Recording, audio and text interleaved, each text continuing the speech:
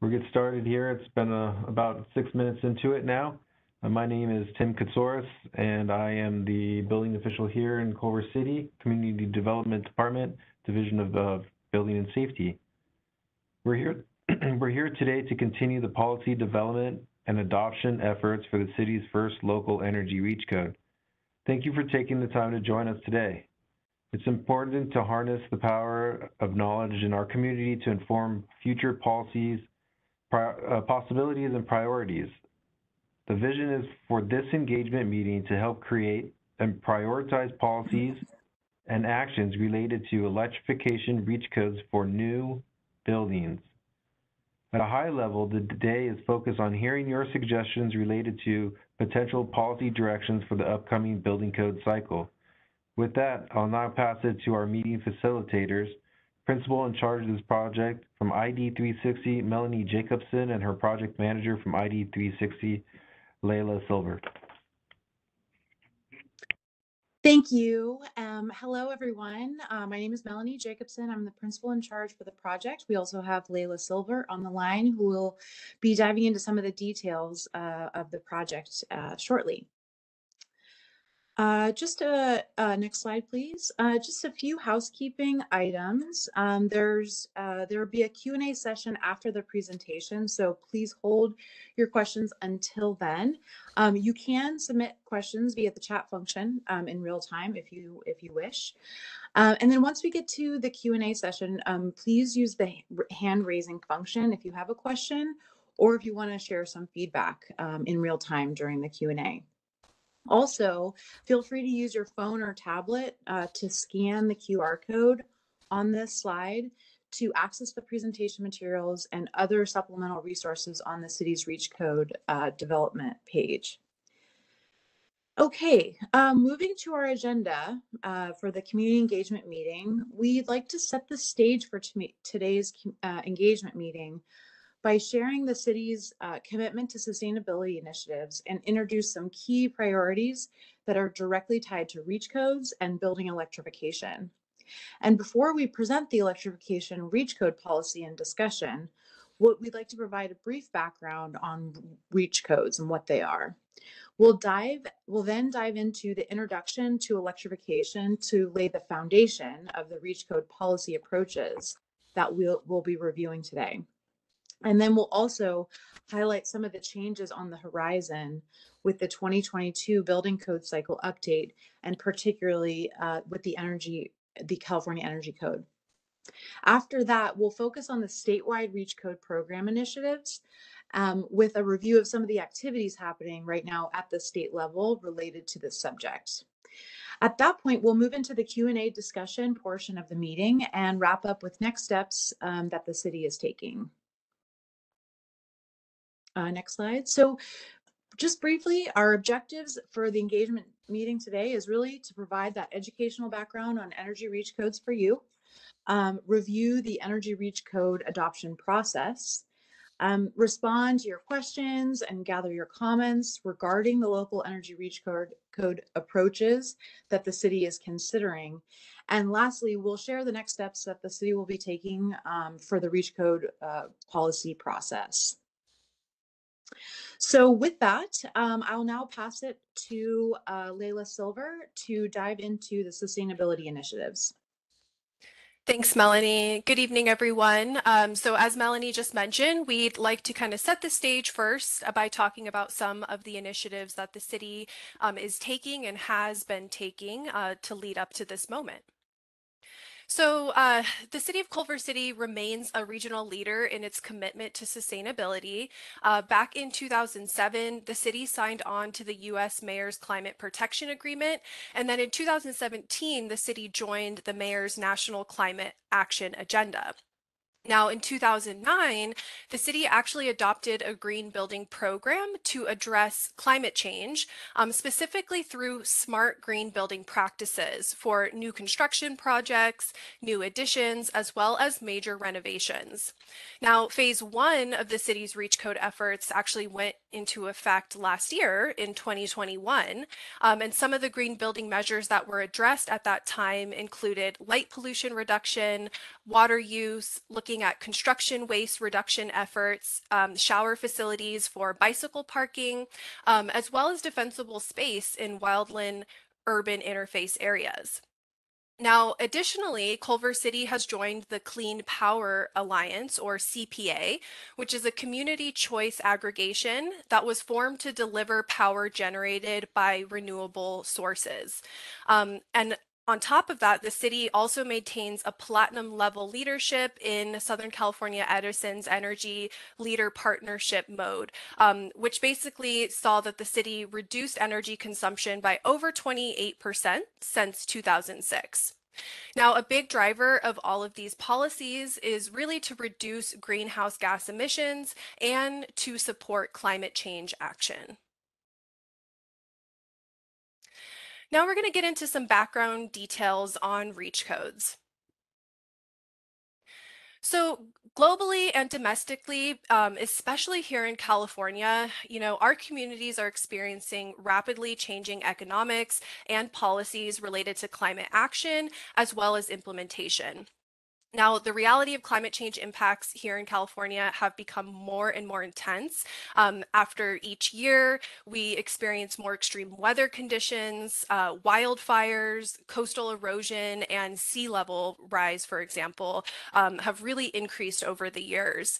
And recent national and state level policies have looked at shifting the role of government in mitigating the effects of climate change.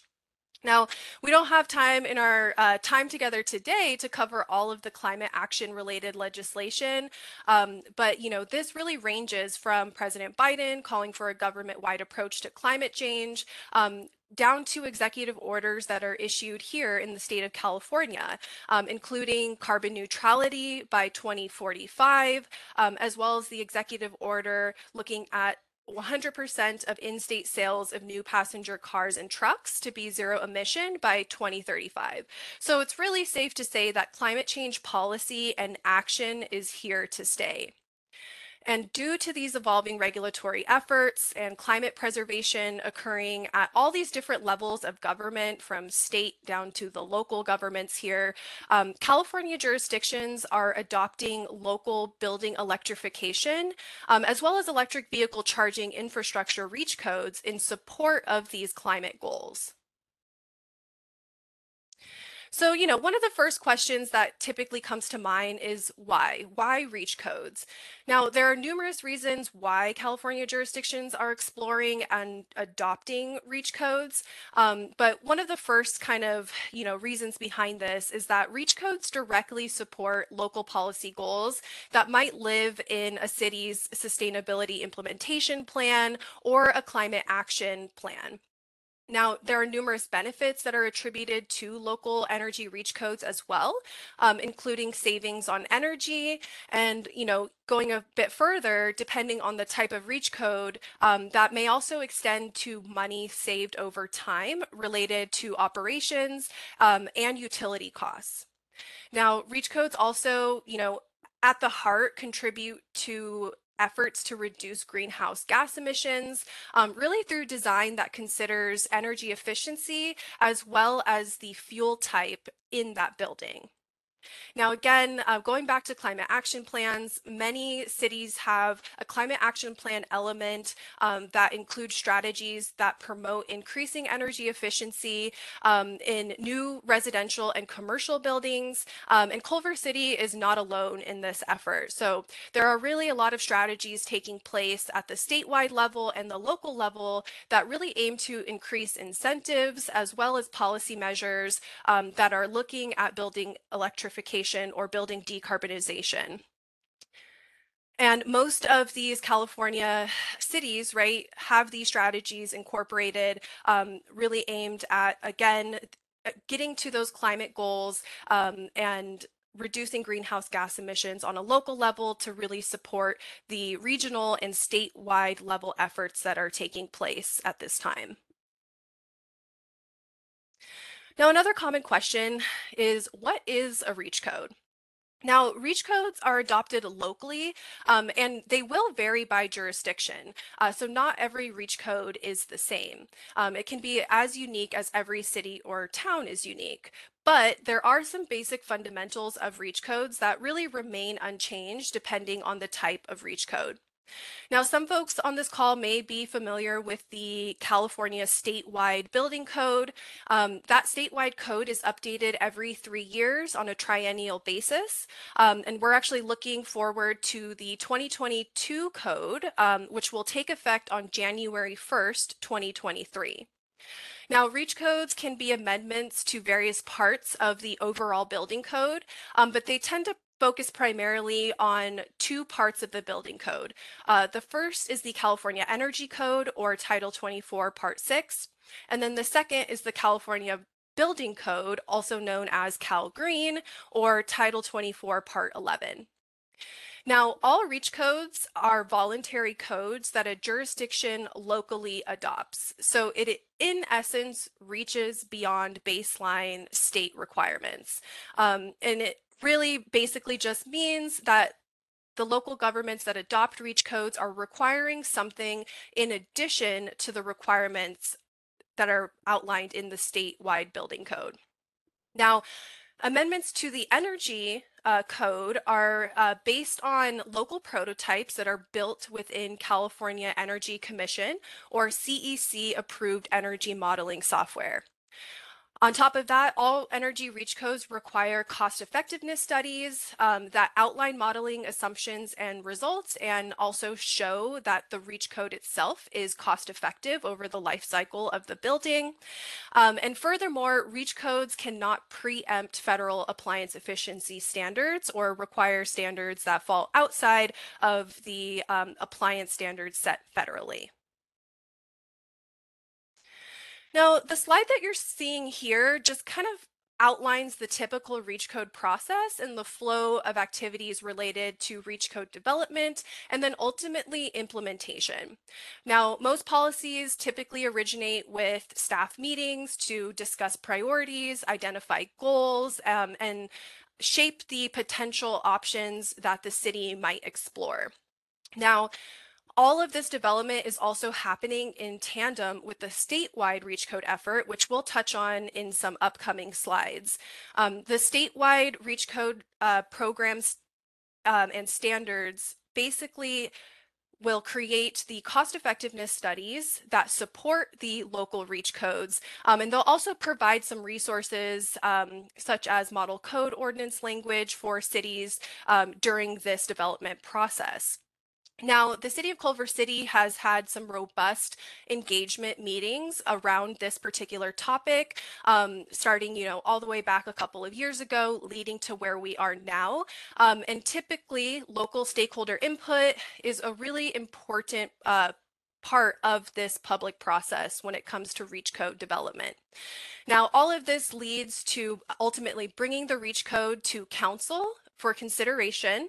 Um, and then ultimately, once it's adopted, the REACH code has to go through statewide agency approval processes uh, before it can actually be filed um, and enforced usually by a target effective date. And for the city of Culver City, um, you know, the target effective date for this REACH code that we're going to be discussing today is in line with the 2022 building code cycle, um, which again becomes live on January 1st, 2023. So now that we've reviewed what REACH codes are, why we're looking at REACH codes, we want to take the next handful of slides to introduce some concepts around building electrification, um, as this relates to the type of local energy REACH code that the city is considering. So, what is building electrification? Um, you know, this concept can sound a little complex, but it's pretty simple at its heart. So, building electrification simply means using electric appliances and equipment, um, such as induction cooktops, heat pump water heaters, um, heat pump heating and air ventilation systems in our homes and our business establishments.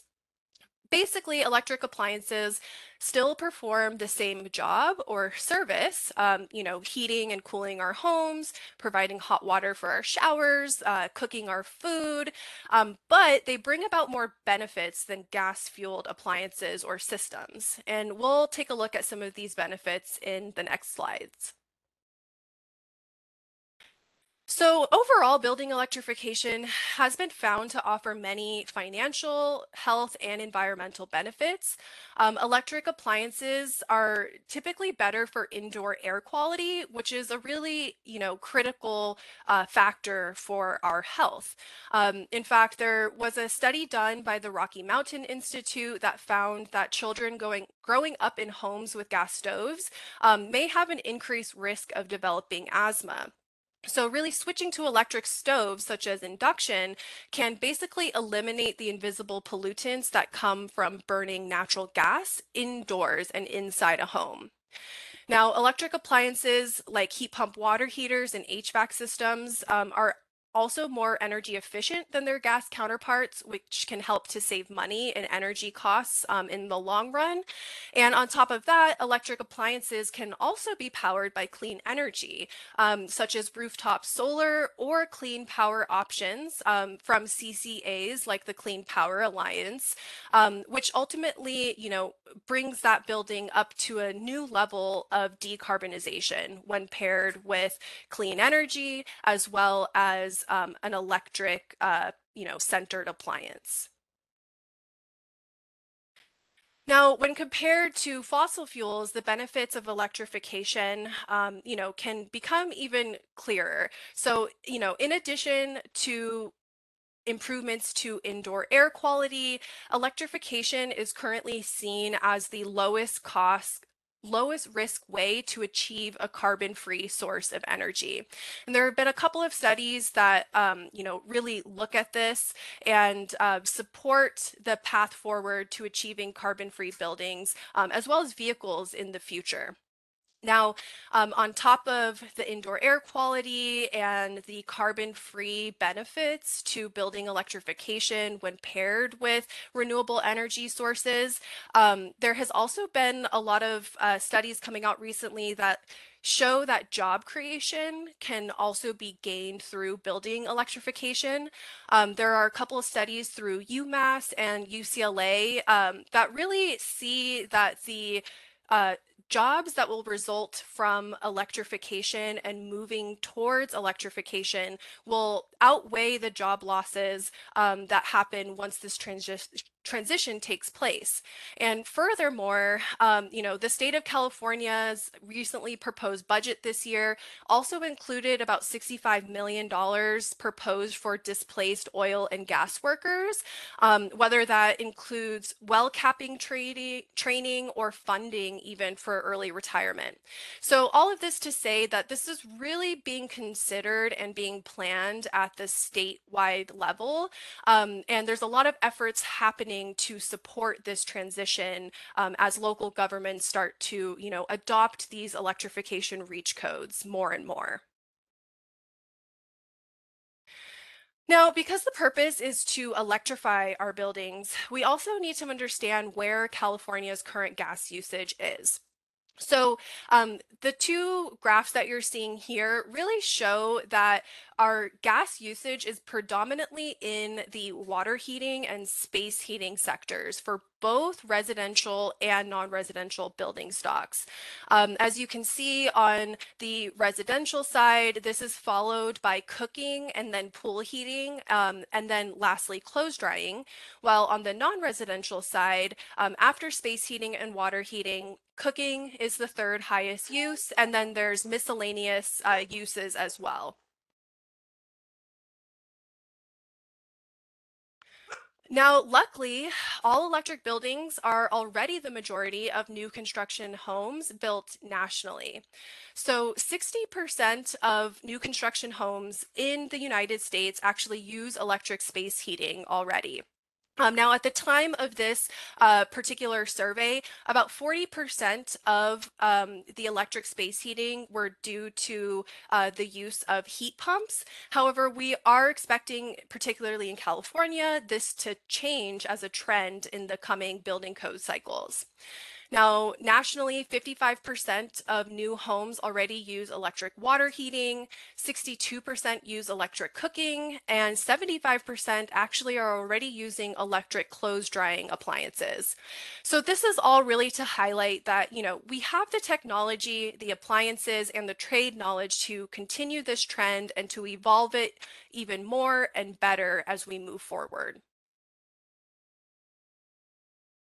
So this slide that we are showing here just kind of outlines some of the appliances and the systems um, for residential and commercial buildings, just to kind of put images uh, to connect what type of systems we're talking about when we're looking at building electrification. So on the space heating side of things, uh, the slide is showing um, basically what's called the a heat pump. Um, so a heat pump is a reversible air conditioner um, you know, where AC cools the air inside your house and dumps the heat outside. Um, you know, the heat pump basically reverses this. It cools the outside air and brings that heat inside. So the heat pump technology has become more and more pervasive um, and has been found to be cost neutral compared to air conditioning. Um, and this is true for most residential and commercial applications. Now, also on the water heating side, there are heat pumps that exist for water heating for both residential and commercial buildings. And when it comes to cooking, uh, the preferred method that we're talking about when we're talking about electric cooking is induction cooking. Um, we're not talking about the really old school coil stoves. Um, now, induction is a pretty interesting technology that uses a current actually in the cookware, whether that's stainless steel or cast iron, um, and actually makes the cookware hot. Um, and you can actually see in this picture um, the chocolate in the pan is melted, but the chocolate that is on the induction stove um, has remained, you know, in its natural state. Um, and this is due to the induction technology. Now, there are commercial applications for induction that do exist, although the technology here can be limited in some capacities. Um, however, there are some commercial kitchens that use induction stoves, um, and this is really popular in catering as well because it does not contribute a lot of waste heat um, and can also require a smaller vent or even no vent in terms of infrastructure that is needed. And then lastly, when we're talking about electric appliances, we're also looking at clothes drying.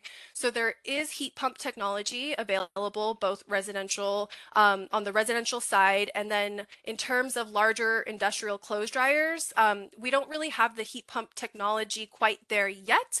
There's electric resistance technology. Um, however, the industry is really making waves um, in the heat pump market for these particular commercial and industrial applications. Now, lastly, just kind of taking a look at equipment efficiency, since this is one thing to also keep in mind when we compare electric appliances to natural gas appliances. So on a kind of whole baseline level, efficiency of our gas appliances is an average around 80%. Um, so for example, if you have an existing storage um, tank water heater in your home um, that might be closer to 60% efficient where the newest condensing hot water heaters are about 90 to 95% efficient. Um, but when you compare that to a heat pump um, the heat pump actually jumps about uh, 350% in efficiency. And this is basically due to the fact that heat pumps move heat from one place to another. It doesn't combust to generate that heat and so because it's moving heat like a refrigerator, this makes up for a big portion of the cost disparity that we have between relatively lower gas rates and relatively higher electric rates. And then lastly, we have resistance or induction cooking technology, where the maximum efficiency is about one for cooking and high intensity um, industrial processes. So we've now laid the foundation of what a reach code is, what building electrification is. And now we'd like to present an overview of electrification reach codes as a whole um, and some of the initiatives that are taking place at the statewide level. So some of the folks on the call today, you know, may be aware that there are numerous California jurisdictions that have either adopted or are exploring um, the adoption of a potential energy reach code. And there are over 50 California jurisdictions um, under the 2019 code cycle, which we're still currently in, that have adopted some type of local energy reach code. Um, and there are even more that are in consideration for the 2022 code cycle. Now, the approaches to these reach codes can vary, um, but there are some uh, themes that you'll probably see consistently um, with these reach codes. Um, namely ranging from all electric only whole building reach codes, um, all electric reach codes that focus on specific systems such as space heating or water heating. Um, there's also something called electric preferred reach codes, which incentivizes um, electrification on a whole level, but does allow for some mixed fuel options, uh, but does require enhanced efficiency for those mixed fuel options. And then lastly, of course, we have electric vehicle charging infrastructure reach codes that many jurisdictions um, have either adopted or are exploring to adopt in this upcoming code cycle. So the slide that you're seeing here um, is just to highlight some of the neighboring jurisdictions around Culver City that have committed to some level of a reach code policy. So this includes, you know, Santa Monica, which had an energy reach code for the 2019 code cycle um, that included um, an electric per preferred pathway um, and they're currently looking at all electric uh, requirements for new construction. Um, West Hollywood had specific reach code requirements around solar PV and requiring cool roofs. And Ojai has um, basically an all electric design requirement for all new construction. Los Angeles County has um, basically standard cool roof requirements. And the city of Los Angeles, most recently, um, their council voted back in May to prohibit most gas appliances in new construction. Um, so this trend is really happening on a regional level, in addition to across the entire state of California. So before we kind of hone in on the reach code pathways that are available for the city to adopt, we wanted to kind of share some of the highlights and the changes that are coming down with the 2022 California Energy Code because this will really kind of um, solidify more of where the state is headed and the foundation that these energy reach codes um, are built upon. So for 2022, the California Energy Code differs from the current 2019 code in a handful of ways.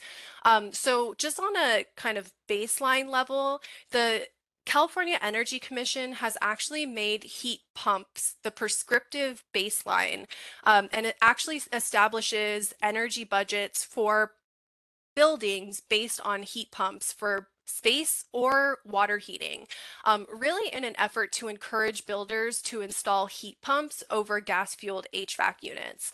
Um, and so what this means is that for both residential and non-residential new buildings, um, the project's energy budget for space heating and water heating in certain climate zones is going to be based off of a heat pump system. Now, what this also translates to is a performance credit in the energy model for all electric design buildings. Um, and the performance credit um, is most noticeable in the residential building stock, um, around 3 to 5% if you electrify both space heating and water heating. Um, now, because of this prescriptive baseline standard being based on heat pumps um, and because of this performance credit, the state's energy code is in essence um, an electric preferred code because of this performance credit. Now, on the residential side of things, uh, pre-wiring is now required for any gas appliance that is installed in a new residential building. Um, so effectively, the code requires homes to be electric ready with a dedicated 240 volt outlet and space. Um, so those electric appliances can eventually be replaced um, uh, can eventually replace their installed gas appliance counterpart um, to really facilitate the future of electric appliances. Um, in addition, on the residential side, there are higher ventilation rates required for uh, gas stoves when those are installed. Um, so the minimum kitchen ventilation requirements um, for fans over cooktops will now have higher airflow to capture efficiency to better exhaust pollution from gas cooking and improve indoor air quality. And then furthermore, on the residential side of things, energy storage readiness um, for a future battery uh, when paired with solar PV is now also required for new residential buildings. This is going to include the panel capacity as well as um, the physical space um, to be included for that energy storage system. Now, on the non-residential side of things, in addition to heat pumps being the prescriptive baseline, one of the biggest changes is that new non-residential buildings will be required to have solar PV installed, as well as prescriptive battery storage requirements for select occupancy types. Um, so this will go impact wise for high rise multifamily buildings, offices, um, new retail and grocery stores, as well as new restaurants and new schools will all be subject to the solar PV and the battery storage requirement um, under the upcoming California Energy Code. So now that we've talked about the 2022 California Energy Code highlights, um, we're going to take a look at the 2022 statewide REACH Code initiative. Um, and I mentioned this at the beginning of the presentation that the statewide codes and programs um, uh, team provides the cost effectiveness studies that support the local energy reach codes, um, as, as well as some resources and the model code language for all jurisdictions in the state of California. So just starting with this slide um, is just outlining some timeline updates related to the statewide efforts, in particular the cost effectiveness uh, research and the analyses that go hand in hand together.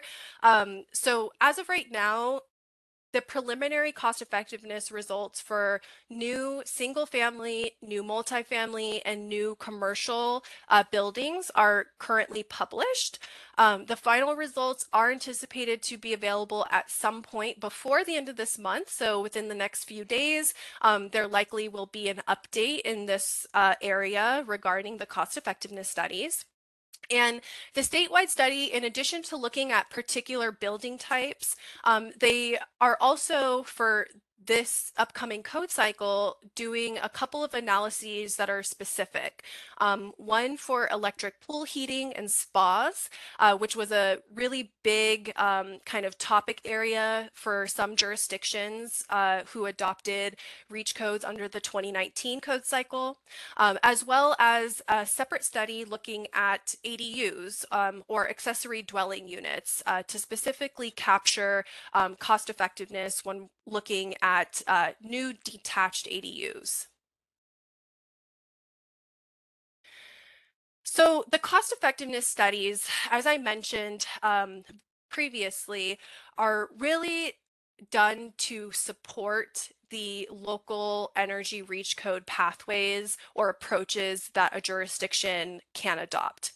Now, the cost effectiveness studies are required for local amendments to the California Energy Code in particular, when the REACH code requires an enhanced efficiency above the baseline statewide standards. Now, the cost effectiveness studies look at two main metrics or methodologies um, to basically demonstrate and justify cost effectiveness.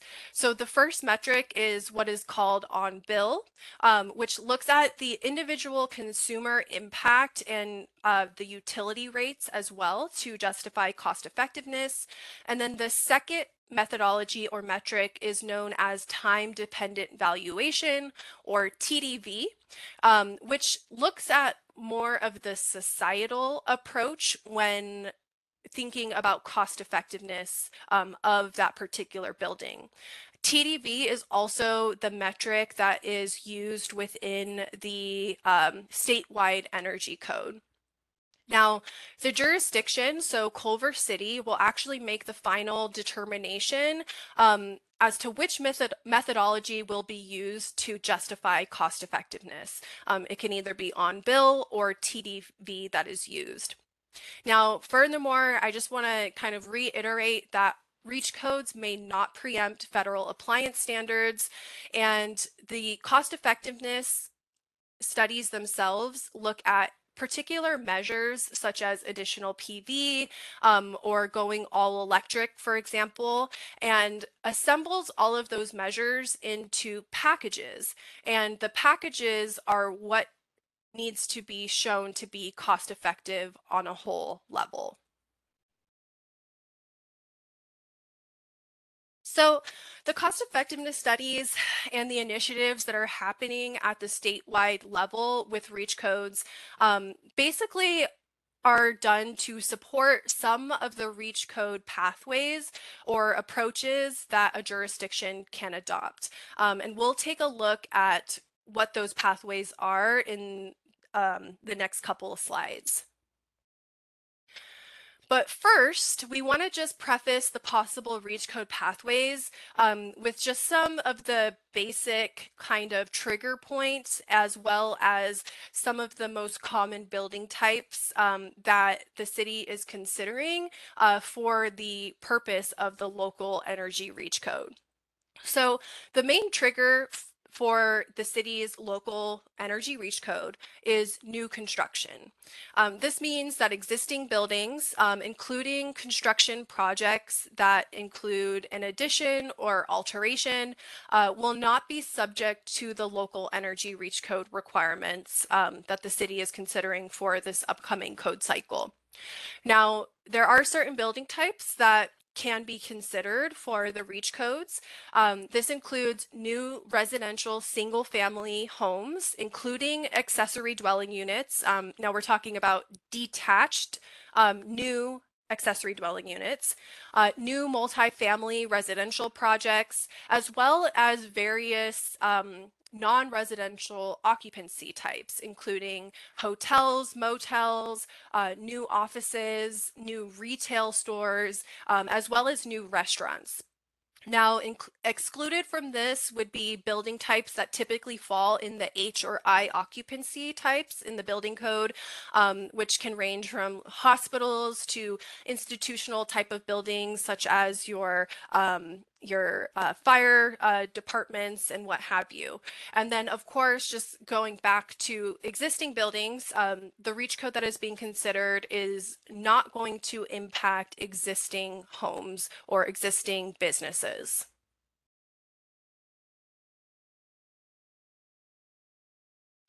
So the table that you're seeing on this slide will be a big part of the discussion today. Um, so I just want to stress again that the REACH code policies um, that are outlined on this slide are being con considered for new construction only and will not impact existing buildings. So we'll go down through this table um, and break it down together, uh, but all of these um, pathways that you're seeing here are directly supported by the statewide cost effectiveness studies. Um, and these are the options that the city can consider for adoption. So there are kind of on a high level four main approaches. We have efficiency, electric preferred, electric only, and electric only plus efficiency. Um, and I'm going to work from the left hand side of this table down to the right hand side of this table.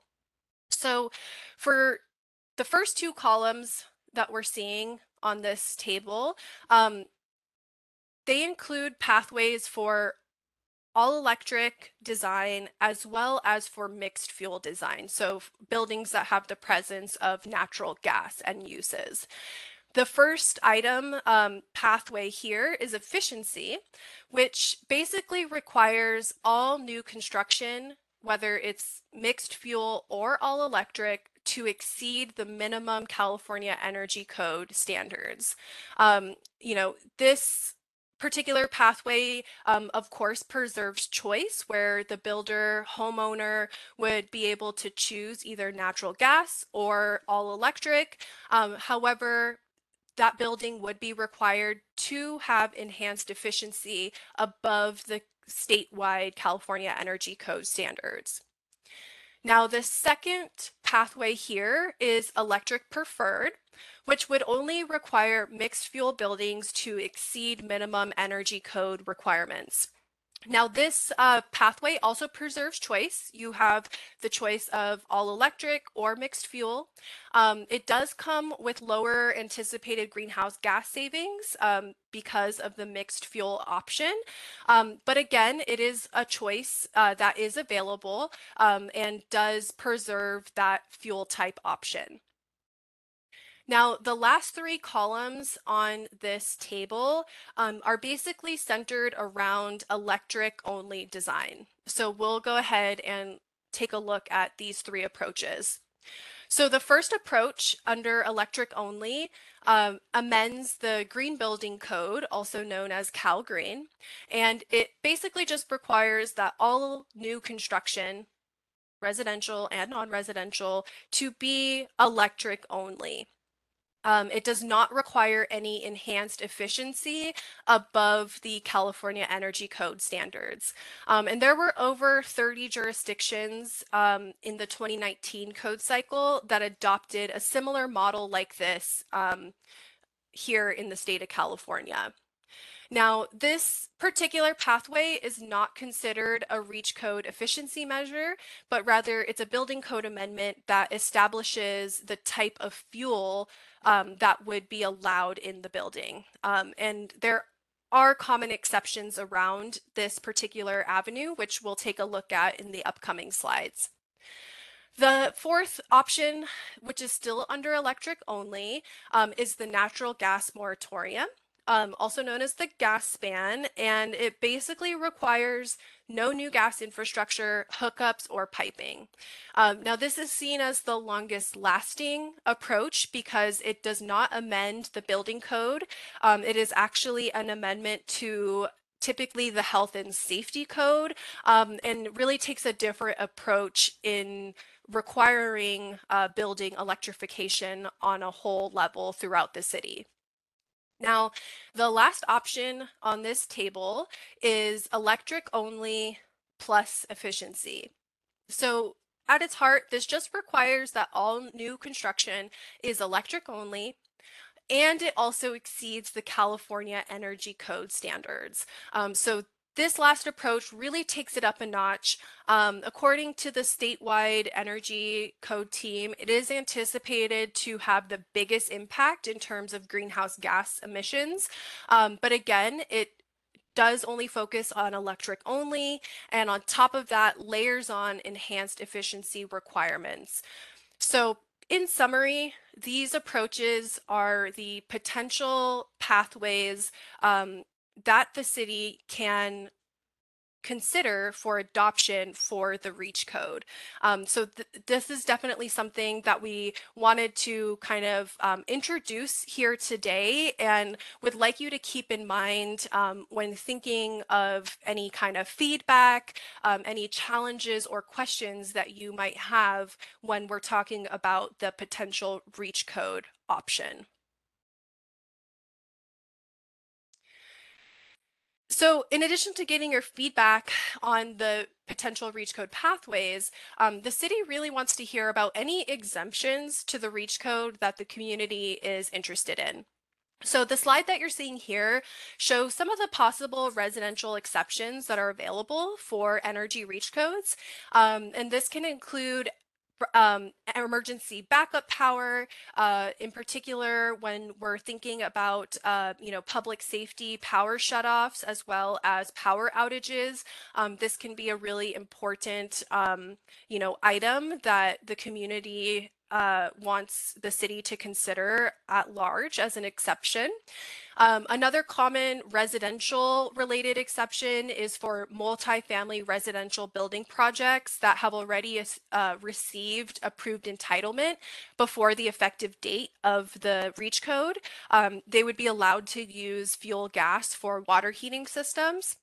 And oftentimes for certain reach codes, depending on, you know, the needs of the community, there can be exceptions for new swimming pools and spas, um, fireplaces, um, in particular, water heating or space heating in new accessory dwelling units, um, outdoor barbecues, um, and then of course, typical um, for any type of exemption is that when combustion equipment is allowed, then that electric readiness would be required, um, which also goes hand in hand and stays aligned with the California Energy Code's electric readiness requirement that is coming down the line for the 2022 building code. Um, now, it's also typical for all REACH codes to include some sort of infeasibility guidelines that capture um, waivers for cost burdens or other technical infeasibilities that might happen to a project on a case by case basis. And then furthermore, the city can also exempt certain building occupancies, um, going back to some of the occupancy types that we discussed previously, um, and can also eh, wrap up some exemptions around appliance types.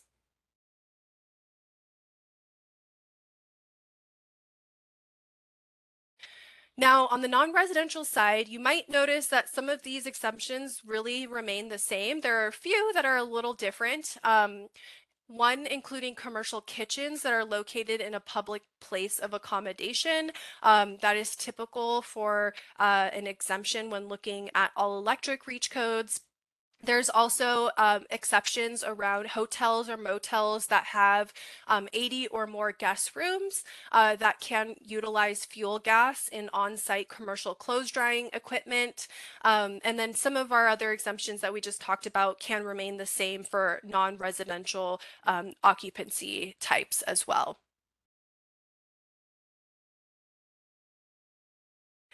So before we open the floor um, in our last kind of half hour together uh, for a, an open discussion on the information that was presented today, we want to just share some considerations and some permit data to help inform the city's current electrification reach code strategy um, and kind of help you think through some of the questions or comments that you may have um, based on what you heard today. So as a part of the REACH code policy development, uh, the city took a look at some recent permit data. Um, and what was found was that the city issues approximately 35 new single family residential building permits every year. And looking kind of towards the future, uh, the staff also looked at some of the entitlement planning entitlement projects that are already in the pipeline. Um, so this includes one 150 plus room hotel, um, one new office building, one new four unit condominium, as well as one new mixed use building that has 82 residential units as well as a retail space on the first floor. So as we're looking ahead to the future, you know, the bulk of projects coming down the line in the city um, kind of range from mixed use and a couple of commercial projects, but a lot of the stock is related to um, these new single family uh, residential projects that are submitted for building permit. So it's likely that these are the types of buildings that will most likely be impacted by some type of local energy reach code that the city adopts.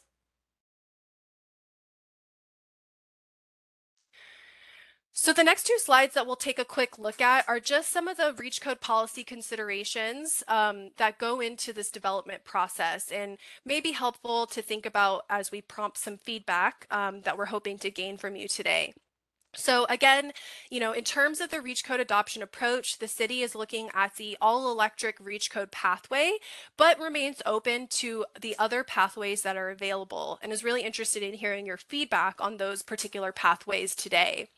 Um, the all electric requirement uh, would require all electric design for new construction with certain exceptions um, for new buildings, you know, within the city. Now, there are also some applicable systems and appliances that can be considered, um, you know, on a one-to-one level, um, in particular when we're thinking about certain exemptions. Um, but typically the REACH code will look at the whole building and the appliances and end uses within that building. So when we're talking about these all electric REACH codes, we're looking at heat pump water heaters, um, the cooking appliance being induction cooking, um, electric dryers, as well as heat pump uh, technology for space heating and space cooling. And other considerations to keep in mind would be the building types that are impacted. So everything from new residential buildings down to the new non-residential buildings that, you know, range based on occupancy type. So your offices, your retail stores, your restaurants, um, and then certain exemptions for building types. And again, um, you know, we're, we're talking about new, newly constructed buildings. Um, we're not looking at existing buildings for this particular REACH code. Um, um, and then keeping in mind some of those specific exemptions that we talked about. So commercial kitchens, also laboratories, um, the backup power using, you know, installed, uh, permanently installed generators, and then everything from your swimming pool, your fireplaces to any kind of attached ADU or JADU um, would be considered uh, for a REACH code exemption as well. Now, um, before we open the floor, we also just kind of wanted to share some of the common questions that came out of some of the engagement meetings that the city has actually already hosted um, on the electrification REACH code topic area. Um, so we just wanted to share these handful of common questions um, and comments that were raised during previous engagement efforts. So of course, you know, one of the first questions is, you know, will my existing building be affected? Um, no, the city is considering REACH codes for new construction at this time. Um, another comment that was common was, you know, thinking about electricity costs more per unit of energy than natural gas and um, electrification resulting in higher utility bills. Um, and so just going back to what's going to be required on a statewide level. So, um, you know, already at this point in time, new homes in the state of California are required to have on-site solar PV installed, um, which thereby results in either a net zero electrical bill or a very small electrical bill to cover any excess consumption. Um, and then as we look ahead to January 1st, 2023, all new buildings, so now including new non-residential buildings, will also be required to have solar PV installed um, along with prescriptive battery requirements um, as well. Now, other common questions that came up in previous um, outreach efforts was around cooking, um, in particular in an electric building during a power outage. Um, and you know the city does acknowledge that you know during an electrical power outages um, electric appliances would be compromised unless the building is equipped with solar pv a battery backup system or an electrical generator. Um, and you know since all new residential buildings are now required to have solar pv um, it it seems that electrical cooking appliances would only really be compromised at night or on days without sufficient sun exposure. Um, and furthermore, another kind of consideration is that, you know, in a lot of existing homes, um, older existing homes um, are and, and newer existing uh, existing homes, gas stoves in particular um, will have an electric ignition um, and also utilizing the ventilation system with a gas stove is really important for um, indoor air quality. Now, the last kind of comment here is that electricity is not a clean power source um, and that offsite power generation produces pollution. Um, and the and Culver City is, you know, supplied by a high proportion of renewable electrical energy. Um, and a lot of the utilities are making moves to really um, kind of increase the stock of uh, renewable energy sources and clean energy. Uh, the California Energy Code you know, going back to the requirements at the statewide level, um, on-site solar PV systems are required to be installed. Um, and furthermore, Culver City participates in the Clean uh, Power Alliance that delivers a percentage of power generated by renewable sources for all the buildings um, that are within the city limits. And lastly, what target building categories are most prevalent in Culver City? So going back to that permit data, um, low-rise residential buildings account for most existing and new buildings within the city. And then lastly, um, you know, there have been comments about increased cost for utilities.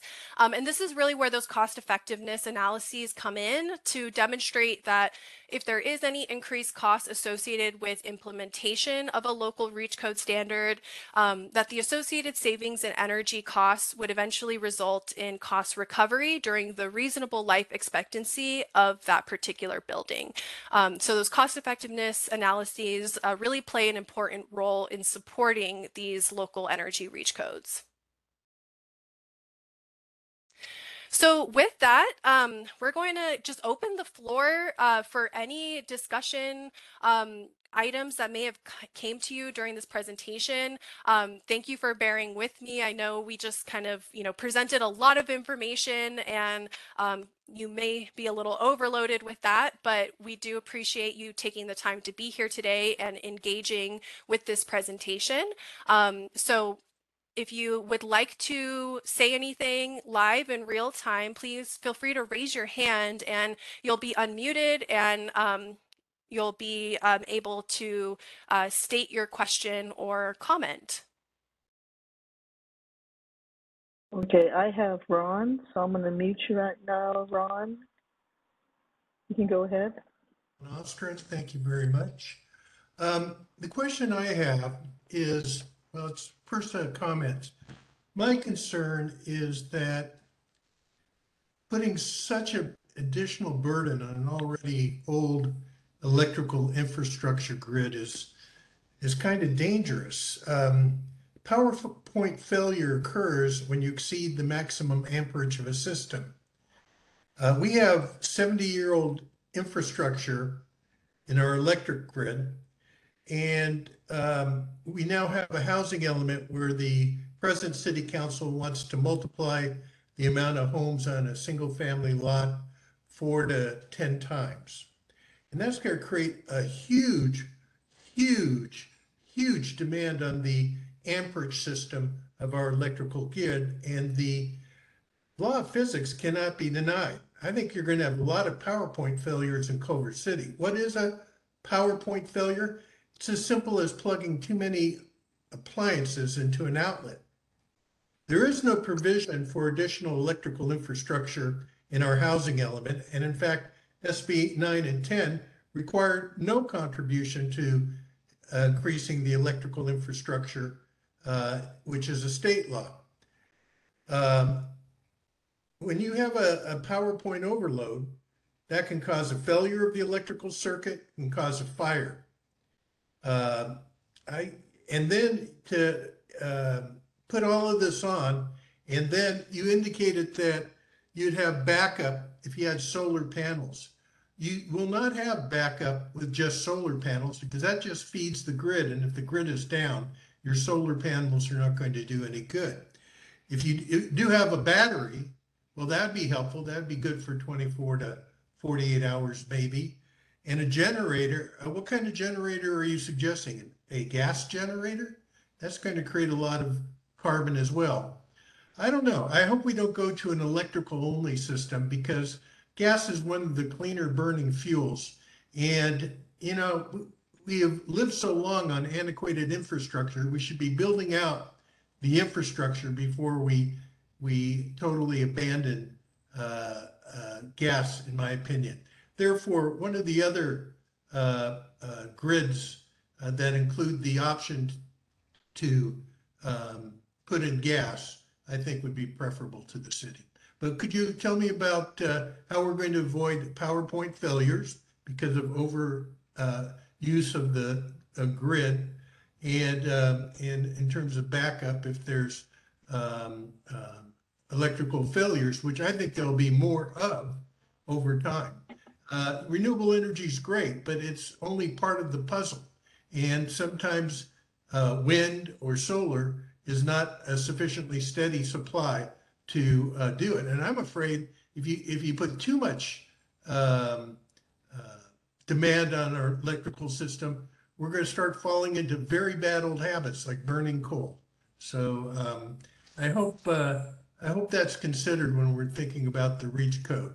I don't think that we should reach the furthest. I don't think we should do electrical only. Thank you.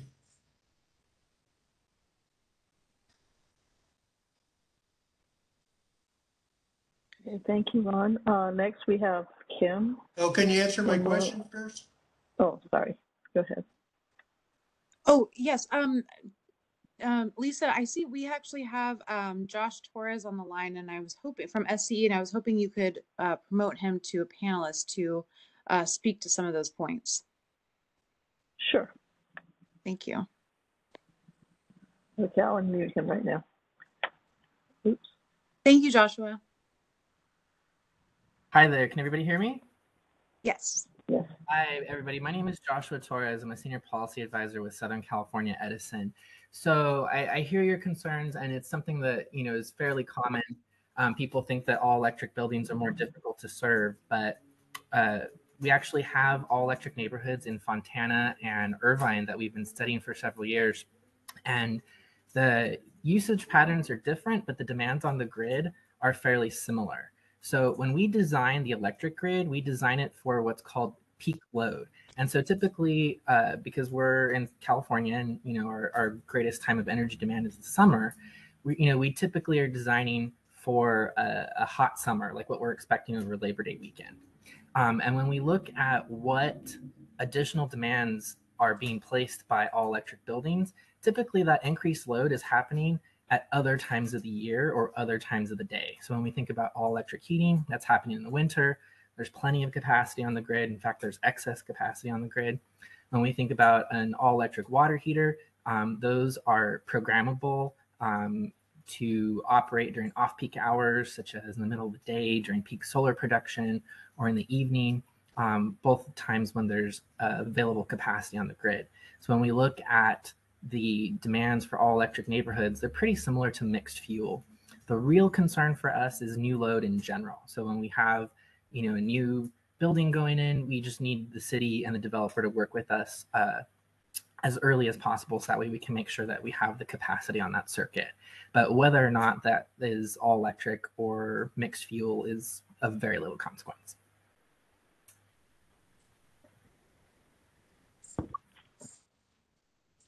Thank you, Joshua. Um, okay, our next, uh, next person who has a question is Kim. Uh, I'll unmute. There you go. Hi, can you all hear me? Yes. Yes. Okay, great. I, I've been having issues with my phone. Um, yeah, thank you so much. Um, I'm here to give a comment, actually. Um, so my name is Kimberly Orbe. Um, I am the Sierra Club Conservation Program Manager and a new resident of Culver City. Um, I just moved here three weeks ago or three months ago. Um, so it is a pleasure to be here today. Um, as someone who cares about the climate and environmental justice, I strongly support the adoption of a comprehensive all-electric electric building code for new construction in Culver City. Um, I don't have to name the reasons why. I think the presentations gave a really great explanation of why we're even talking about this right now, why we need building electrification reach codes. Um, so I just really want to stress that, you know, we know that over 50 communities across California have already adop- adopted local building electrification codes. And LA City is one of those, as well as LA County, which I don't think was mentioned in that presentation, um, have recently passed a motion to do the same by the end of the year. Um, Culver City has been a leader in environmental policy and is really well positioned to take action to pass a DE reach code. I expect Culver City continues to be a leader um, by passing a strong local policy that limits exemptions and prioritizes implementation by January 1st um, next year. And I just want to make a quick comment that something that I heard was that um, stating that gas is a cleaner of burning fuels is that I think that's really harmful to be saying at this point in time. Um, personally, I feel like it's saying that there's a good type of pollution. Pollution's pollution. It's harmful. Um, so I really do think that we need to, you know, be ambitious. I was really happy to hear some really great things in this presentation towards the action that we want to be moving towards um, to combat climate change. And just want to share my gratitude to the panelists and for this presentation and the opportunity to make a comment.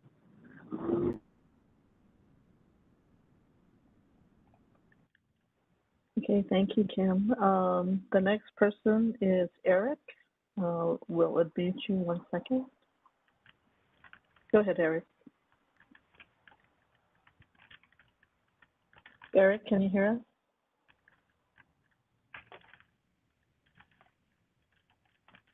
Hello? Yeah, hi. Okay, maybe it's not. Oh, there you are.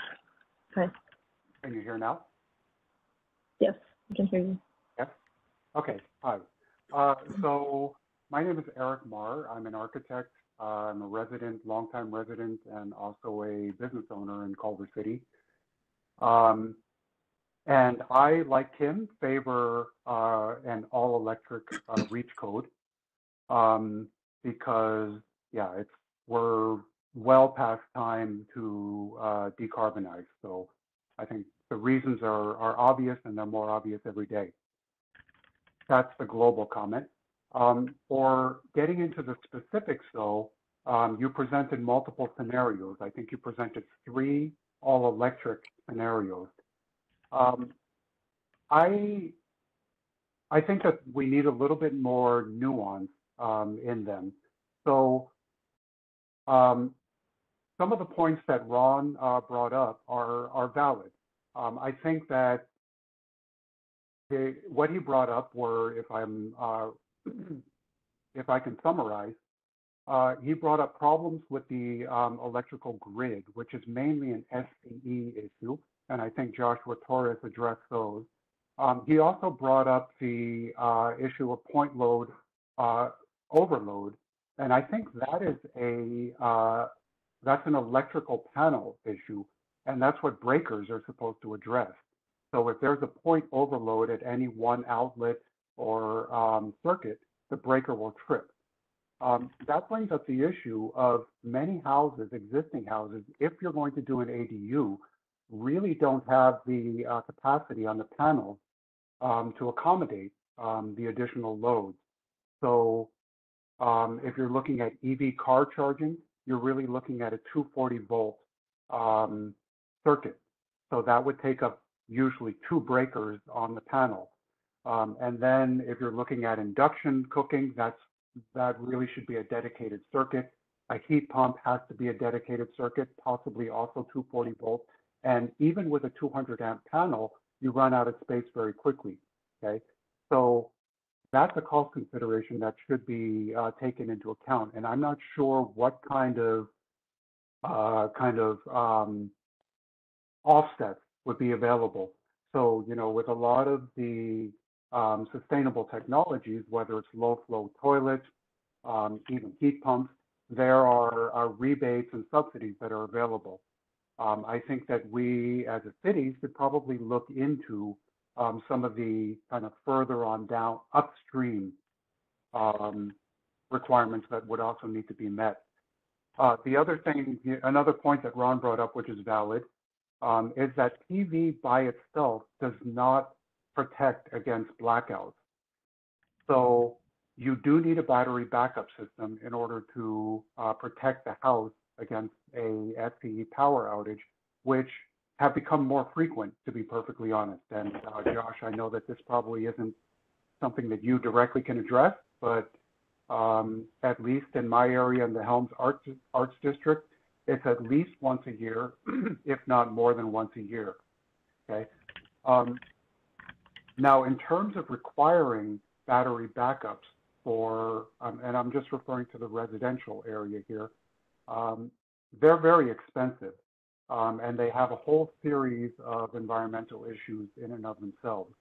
So even though I am very much in favor of most environmental initiatives, I think battery backups are probably not one that I would support, particularly because California just announced that by 2035, all new vehicles will have to be EVs. And EVs have the possibility of backfeeding the grid. So potentially your car can be your battery backup. Um, in fact, I think the Ford F-150 Lightning already has that capability and new uh, vehicles um, will probably be adding that as well.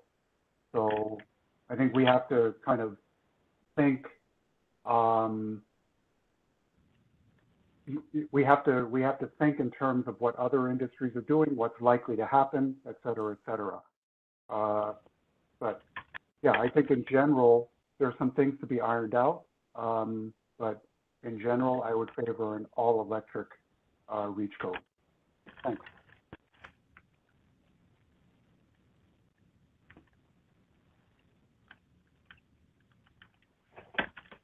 Okay. Um, our next speaker is David. David, I'll unmute you. Uh, one second, please. Okay, you can go ahead, David. Um, can you, can you hear me? Yes. Yes. Great. Yeah, my name is David Hockey, um, 30-year resident of Culver City. Uh, I am fortunate enough to have solar panels on my rooftop and an EV fast charging station um, that was installed for my electric vehicle. Um, I did, you know, as Eric was addressing, I did need to get a new, uh, whatever it is, um, a power panel installed to handle that intri- increased electricity. Um, but um, since we're talking about new construction with the REACH code, I would think, and you, you can correct me if I'm wrong, but I would think that that kind of um, you know panels to handle the increased demand would be part of that new construction. Um, and so the reach codes do not apply to existing construction. Um, I am interested in the answer to Ron's question that he put in the chat, though. Um, at what point does a remodel become new construction, and and when would you know many many homes in my neighborhood and around Culver City that are being torn down and and and new constructions being put in? At what point would the reach codes apply to those um, new construction? But in summary, um, oh, and then I had one last question, which I'm happy to put in the chat as well. Uh, uh, the the efficiency of the heat pumps I've heard is is affected by the humidity in the air, and I wonder because uh, I was considering at one point getting a heat pump for my home, and I wonder um, if if heat pumps in the LA area and, and specifically Culver City, uh, how efficient they are given our level of humidity near the ocean. Um, uh, but but that's just sort of an arcane, sort of esoteric question. Uh, I'm certainly in favor of reach codes. In fact, I would advocate for electric only plus efficiency so that Culver City can really continue to be a, a leader uh, in the area of, of sustainability and, and electrification. Thank you very much for the presentation today.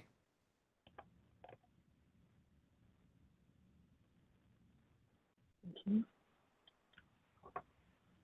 Uh, I'm not really sure if Ron had another question. I see his hand is raised, so I'll unmute him. Not at this time. Uh, not at this time. Enjoying hearing I do- everybody else's comments. Hi, Lisa, this is Thank you. Tim. I'll take one of the questions on uh, generally the description of new construction. Um, Right now, new construction would encompass projects that are all new ground-up construction.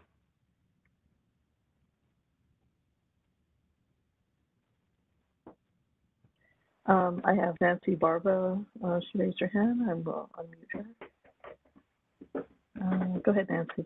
is Nancy Barba, uh, and these, what I'm about to share is my own. I am also the chair of the Planning Commission, but I'm voicing my support for the electric reach codes. Uh, the, I think some of the questions and comments that are brought up on um, in objecting reach codes, many of them can be addressed by the data that the dozens, um, you know, I think it's up to nearly 100 cities across California have adopted REACH codes uh, and are doing their electric new construction. New construction that is all electric is particularly in, in multifamily buildings, which um, is a type of building that Culver City wants to encourage to build because we have um, just a huge housing shortage. It's actually more cost effective to build. Um, so I do want to mention that when you do a multifamily building, that means you're not going to have to do types for two type of energy sources. You only have to do it for electric.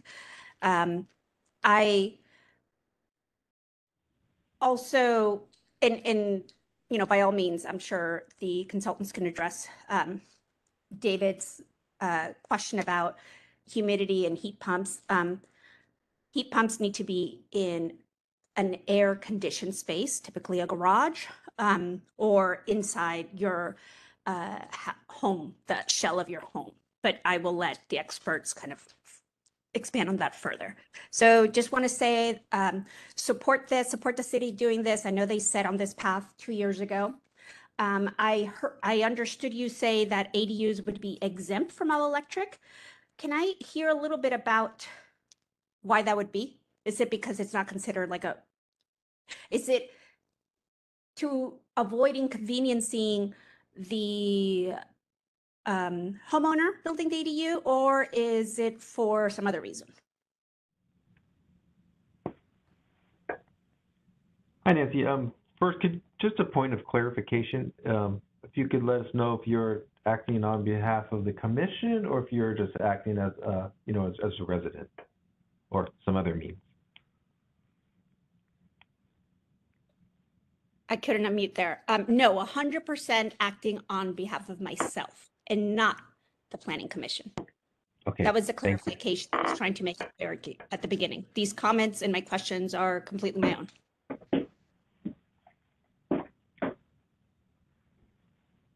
Oh, thank you for that.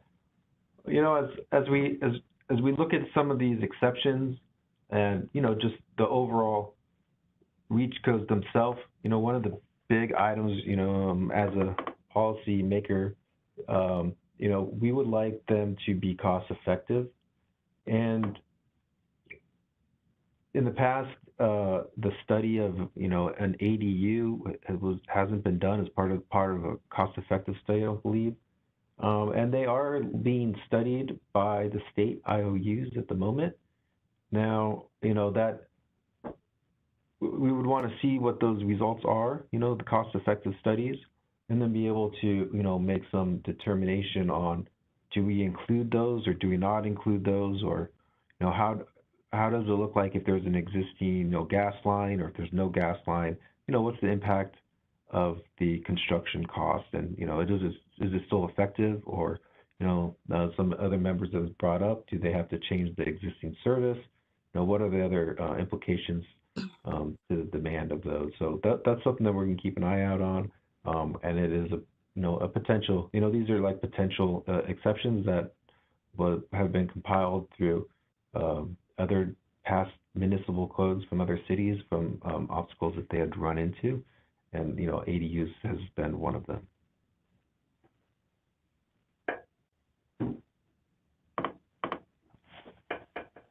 Yeah, I'll piggyback on that. This is Melanie. Um, there a number um, of of all the cities that have adopted reach codes. There's it's really kind of a it's a mix between cities that have exempted um, uh, ADUs and those who have included ADUs. Um, accessory dwelling units, um, they do have their own challenges, as as Tim alluded to, uh, especially you know certain conditions, and that's why this special study was was commissioned.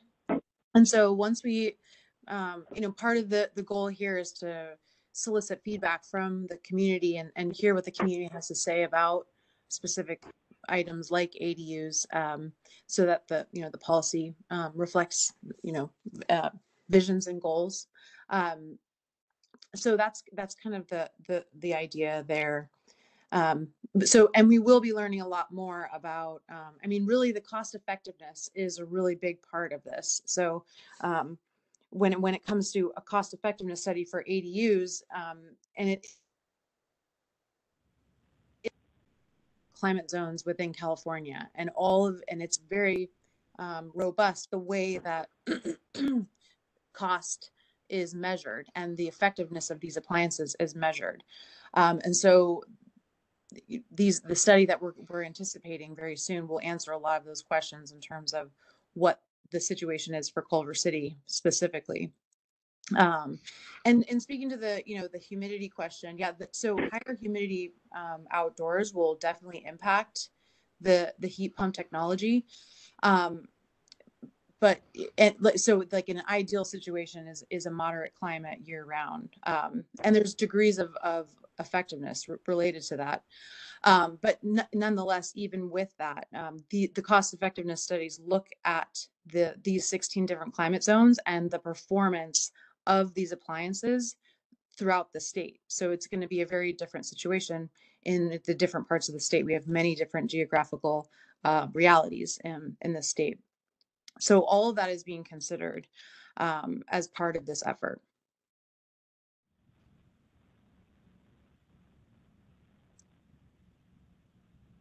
Okay, thank you. Um, Nancy, did I, did you want to comment? No? Okay. Uh, next we have Eric I'm gonna unmute you one moment, please. Okay, go ahead, Eric. Yeah, hi. Uh, you can hear again, right? Yes. Yeah. Um, so my comments uh, previously were primarily about ADUs um, to address David Hockey's uh, question, you know, about new construction. So yeah, what uh, I'm seeing is that a lot of ADUs require panel upgrades um, because, you know, obviously the electrical load is significantly increased. Um, and that becomes that becomes a cost issue. It becomes a time issue. Uh, all of the above. So it was really all I was trying to do was to raise the point that um, as these things have ripple effects, and we should take those into account. Um, now, I favor uh, including ADUs in the REACH code. Um, I don't think they should be exempted because for all of the, I mean, for the same reasons why the main residence should not be exempted. Um, ADUs can go up to, uh, what is it, a thousand, uh, square feet. So they're essentially the size of a typical, um, uh, single-family residence up until well into into the 1970s and 80s. Uh, now, of course, the average size is a lot bigger, but if an ADU can be 1,200 square feet, it should definitely not be exempted from um, any all electrical reach code. Uh, then, let's see. Um, the I think that um, the new construction issue does come up when you do additions to an existing residential, single-family residential house. Um, so I think that Culver City should consider if um, a new bedroom is added, for example, you know, there have to be some uh, kind of cutoff point beyond which the reach code would apply. So if you're just enlarging a room, um, maybe the reach code doesn't apply. But if you're adding a new bedroom, the reach code probably should kick in to some degree. Um, so again, some degree of uh, of nuance um, would seem to be in order there. Um, yeah, that's. Oh, and then one last thing. Um, I think Melanie, you brought up multifamily housing. Um, so construction costs uh, yes, it's true that you don't have to run multiple systems, but gas systems are actually pretty cheap um, to run because the piping isn't um, as expensive as running electrical, just from a pure construction standpoint. Um, and because solar panels are now required, that's um, a hefty upfront construction cost um, addition. So I think in the spirit of tying um, electrification into multiple other issues, the city should tie that um, to eliminating parking. So parking, as any developer can tell you, is one of the biggest costs um, that's associated with new uh, residential construction. And if parking were made, so parking minimums are basically a market intervention that is forcing developers to spend money on something which they may not actually need. So I think that um, the free market does have a place in certain um, parts of the economy, and parking is one of those areas. So if Culver City got rid of parking minimums, which I know is something that's on the table, um, that makes all of the electrification a lot more palatable um, from an overall initial construction cost perspective. Um, so again, tie it into other things to ameliorate the cost impact. Thanks.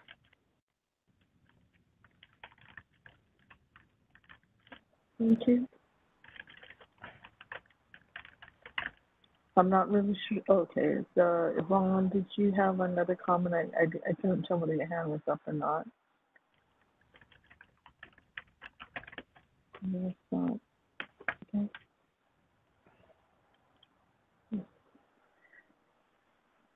I guess that's all the comments, Melanie. Okay, great. Um, well, thank thank you everyone for your participation in that. Um, uh, with that, we'll move to the next steps. Um, Layla, if you could cue the slides.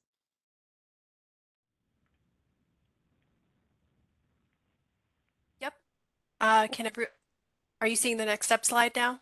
Just want to confirm.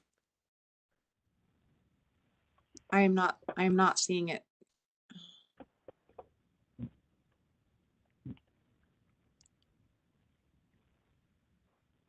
Yeah, the I next see step it. slide It's, is it's, the it's online. Yeah. Okay. Perfect. All right. Perfect. All right. Um, so uh, again, uh, thanks everyone for participating in uh, that discussion.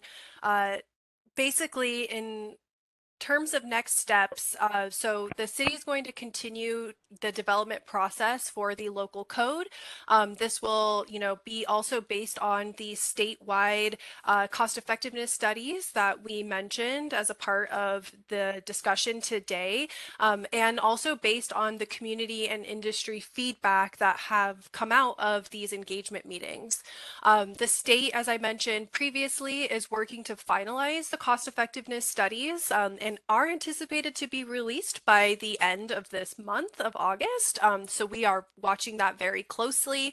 Um, with the next step after the cost effectiveness studies are finalized and the uh, outreach comes to an end will be to bring the REACH code, the proposed REACH code ordinance to City Council um, for consideration and approval um, in October of this year.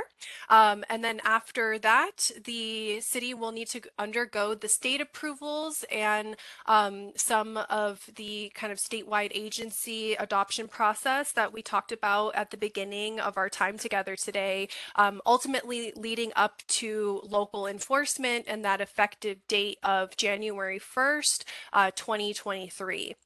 Uh, so with that, um, we are going to close the public engagement meeting uh, for this evening. Um, but if you have any uh, questions or feel called to revisit um, the, this presentation and some of the resources that we talked about today, um, please feel free to uh, visit the city's Energy Reach Code uh, webpage, um, which will have some of the resources uh, that we discussed today, the presentation slides, and what have you.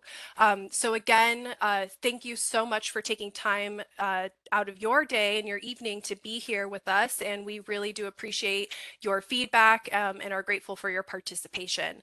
Uh, we hope everyone has a fantastic night um, and um, enjoys the rest of your evening. Thank you, everyone. Thank you. Thank you. Thank you, Melanie.